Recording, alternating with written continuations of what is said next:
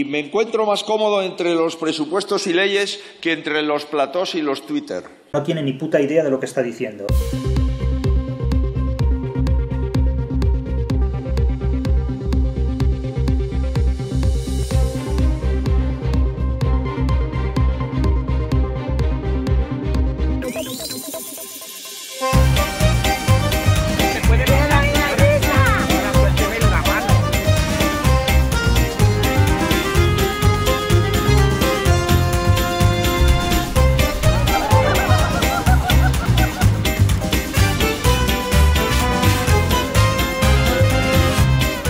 Quites la tapa, que no está grabando nada.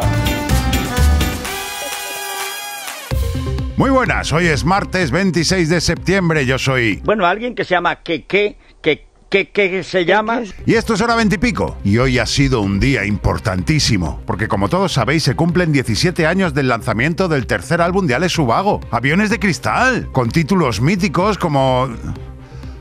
Eh, el amor, y tú y yo y tú...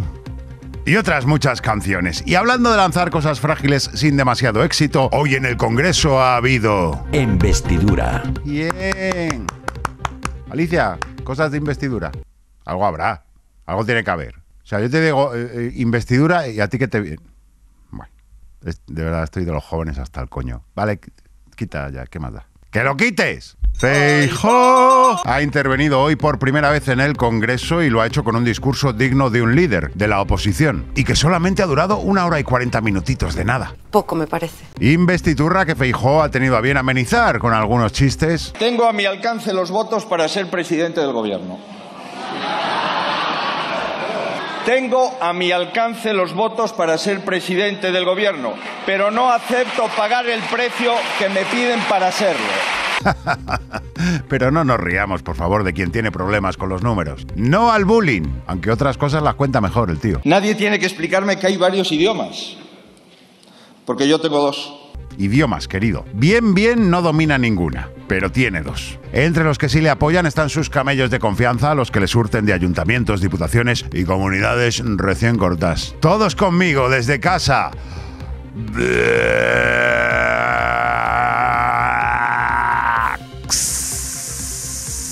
De los 33 diputados de Vox, a los que le agradezco su respaldo responsable y generoso.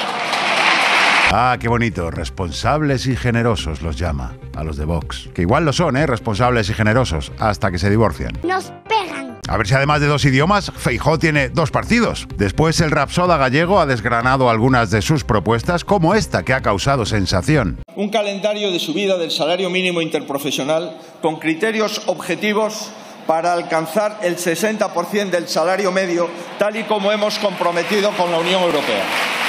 Claro, a lo mejor, fíjate, el PP ha votado siempre en contra de subir el salario mínimo porque les parecía poco. ¿Sabes? Ellos buscan el salario máximo, como el propio Feijó, que cobra dos salarios. Hombre, Mira, tiene dos idiomas, dos partidos y dos salarios. Por fin entendemos a lo que se refería con la regla del 2. Pues bueno, en vez de 2 es 22, pero es 2.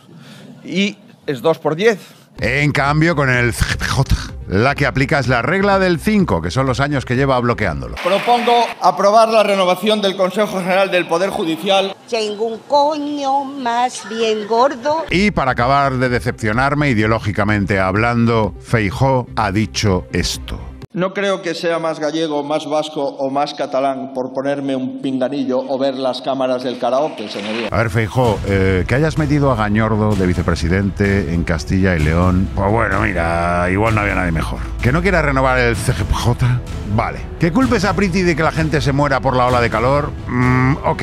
Pero con el karaoke no, Feijó. Con el karaoke no. Con lo que os gusta a vosotros también.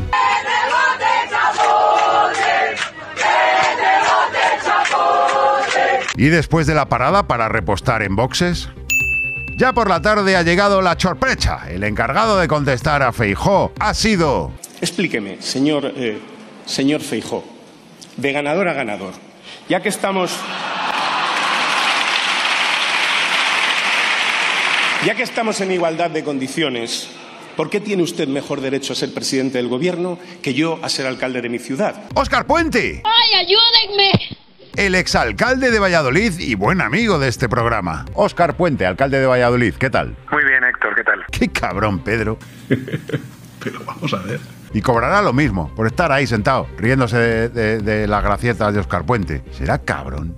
Eso podía hacerlo yo aquí, ¿no? Dejar aquí a, yo que sé, a, al que lo haga mejor de estos aquí presentando, a Chiquetete, claro. Y, y yo cobrar igual. Pero claro, yo no tengo que enfrentarme a una medianía como Feijó, Pero yo no sé hacer otra cosa. sino al mejor público de España. Esto lo dice el clítoris, ¿eh? Esto a Feijó le ha sentado un poquito mal y otra vez que me ha vuelto a ofender el cabrón. Anticipo, señorías, que voy a utilizar un turno muy breve porque no voy a participar en el Club de la Comedia.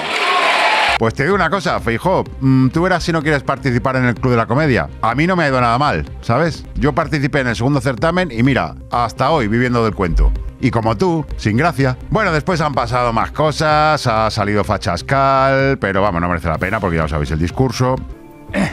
Y en la réplica Feijó ha aprovechado para contestar a Oscar Puente, porque como es de procesamiento lento, pues así le da tiempo a pensar un poco. Y para darle cariñitos a los Blacks. Porque fíjese, usted ha hecho una cosa muy distinta de sumar. Primero, ganarle a sumar. Y segundo, aceptar no entrar en el gobierno. ¿Qué sería de los de sumar sin estar en el gobierno? No sé si todos los de sumar caben o no caben en un cohete. Y bueno, y muchísimas más cosas han pasado ya, pero claro, no me da tiempo a contarlas porque este programa se está grabando ahora mismo a las 18 y 20 de la tarde. Se me ha desmayado ya un guionista porque son unos flojos. ¡No seas flojo! Pero mira, os dejamos aquí con la ventanita, ventanita, por favor, Alicia, con la señal en directo desde el Congreso de los Diputados. Que si pasa algo más importante, pues no os preocupéis. Eh, ya os lo cuenta Vicente Valles. No, Vicente Valles no. El Vicente Valles de aquí, Aymar. El Vicente Valles bueno. Locobox. Vox entra en guerra con Mercadona. Digo, ay, ya está aquí la guerra. El partido Moco acusa a la cadena de supermercados de propaganda y complicidad con la Agenda 2030 porque Mercadona publicó un tuit. Bueno, cuidado, un tuit, cuidado, ¿eh? Esto que ahora cómo es, porque ya no es Twitter, ahora es X. Publicó un ex, un ex, publicó un ex. Bueno, eh, como se llame ahora, un post en el que celebraba el octavo aniversario de la creación de la agenda y mostraba su compromiso para alcanzar los objetivos de desarrollo sostenible, entre los que se conoce que no está bajar un poquito el precio del aceite, cabrones. Bueno, ¿cómo serán de vagos en Vox que les tienen pánico a las agendas? En domingo, Terror en el supermercado, horror en la ultraderecha. Vox contra los Roch. Esto no lo vimos venir. El Yunque contra el Opus. Un combate sin precedentes en la derecha religiosa. Con todo lo que les une ¿eh? y que se estén ahí peleando, pero si los dos tienen el color verde como color corporativo y luego Vox al final, pues es el franquismo de hacendado. Pero bueno, aprovecho esta noticia para comentar. Madre mía, soy yo el único que está disfrutando como una perra en celo con la decadencia de Vox. no. ¡Oh!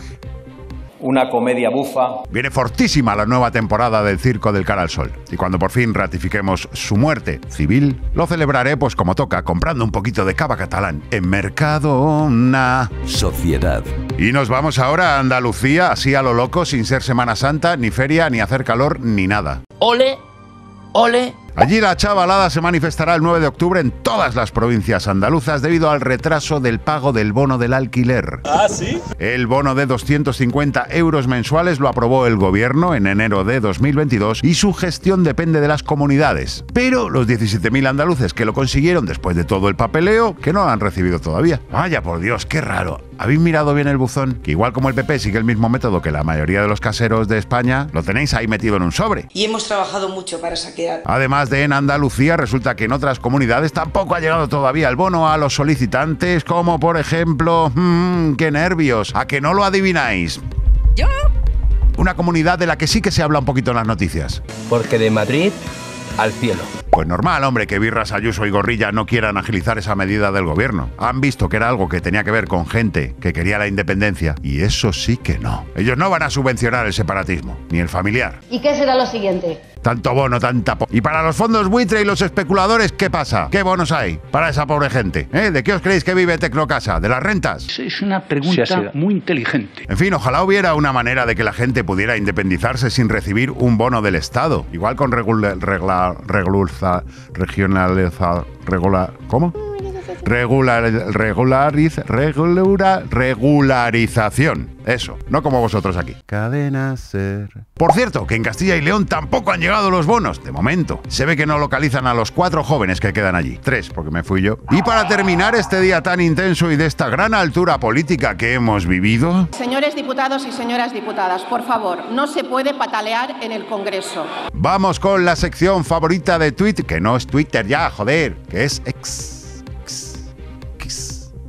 Como Elon Musk. Obviedades que dan clics. Llega el otoño, aunque sigue haciendo el mismo puto calor que en julio, y nos asaltan titulares profundamente inútiles como el color que va a triunfar este otoño. A ver, el marrón y el negro, joder, como todos los otoños. Va a ser el rosa este otoño. Plantas para decorar un piso de 10 metros cuadrados. Pues marihuana. O el light off, ahorra viviendo sin luz. Pero claro, la marihuana. Pero hay un tema central que nos importa a todos, a todas y a todas, y que los compas de público han sabido exprimir. ¿Cómo mantener tu Tinder on fire cuando acabe el verano? Pero a ver, eh, el otoño es mucho mejor que el verano, ¿no? Para lo de follar, digo. Follar en verano. Una mierda. ¿No follar en verano? Lo mejor. Además, lo de poner la foto falsa, eso funciona en cualquier estación. En fin, me da cosilla veros ahí a todos enganchados al, al Tinder y a otras aplicaciones, ¿no? ¿Cómo habéis caído también en, en el mercantilismo del amor, en la neoliberalización de las relaciones? Que Tinder no quiere que encuentres pareja, coño. Que entonces te vas de Tinder. Acabáramos. Tinder tiene datos para decirte, mira, yo creo que es este. ¿eh? Pero vamos, fijo. Pero fijo, fijo. Pero no te lo voy a decir porque, claro. no, Tinder prefiere pues hacerte un first dates. Sí, bueno, yo el feeling no lo sentí desde que te vi entrar por la puerta, pero... Por no hablar de las bios, esas que ponéis, madre de Dios. Aquí todo el mundo es guay en 20 palabras. Luego no tienes pareja, pero eres súper especial. Gente que trepa 6 metros en el rocódromo y luego no sabe escribir correctamente rocódromo. Hablo tres idiomas y soy Capricornio. Vete de ahí. ¡Huye!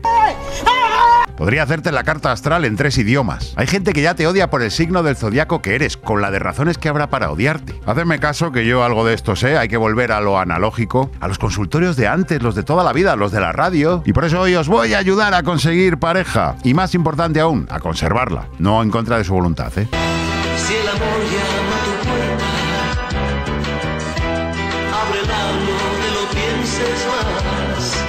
Lo que necesitas es sector. Bienvenidos, bienvenidas, bienvenides a Lo que necesitas es sector. Hora veintipiquito. ¿No? ¿Nos gusta? No sé, a mí me gustaba, pero bueno, se lo he dicho antes a Julia y me ha dicho, "Uf, eres un crack. Tengo aquí la caja del amor con muchas preguntas. Lanzadme la caja del amor. Gracias. Eh, quita ya los corazones, eso, ¿no, Alicia? Yo creo. Todo el rato que no se me ve a mí bien en el programa son menos clics. Vamos a ver. La primera nos escribe un tal José de Jerez. Dice, si llevo yo la razón también es mansplaining. Uf, tema de feminismo, ¿eh? De rabiosa actualidad. Mi especialidad. Héctor. Seguramente si tu pareja, mujer, debate contigo sobre algo, la razón la lleva ella. Y luego cuando no debate también, pero no lo dice para no humillarte. Y un consejo extra, si quieres triunfar y no le des la turra con la tercera temporada de Forjados a Fuego. Marina, desde León, a ver qué dice. Si él me dice que en la movida de Rosalía y Rao Alejandro, Rao tiene razón, ¿puedo dejarle?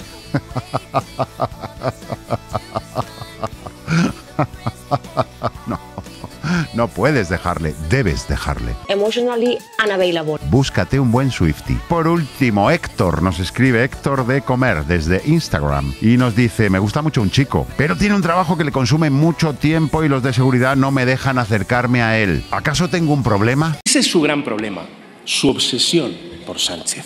Y no se dice Sánchez. no es Sánchez, es Sánchez. Bueno, y ya está bien de dudas por hoy, ¿eh? Que si queréis que os resuelva todo, me pagáis un poco, coño. La versión premium, hay versión premium de lo que necesitas es Héctor. Pesaos que sois, que, que, que, que no me extraña que nos quiera nadie. Pero ¿quién nos va a querer? A vosotros.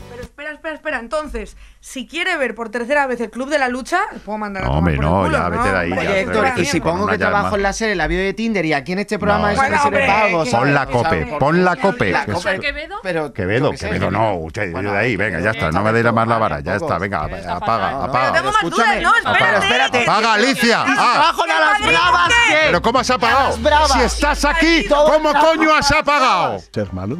Buenas noches, colegas. Mi, mi bio pone en la radio porque no me callo. Y debajo po- hay un dicho que tengo con un amigo que es con fe aparece vareta y te da tiempo hasta de comer. Vamos, no te hago match. Ven aquí un momento, anda.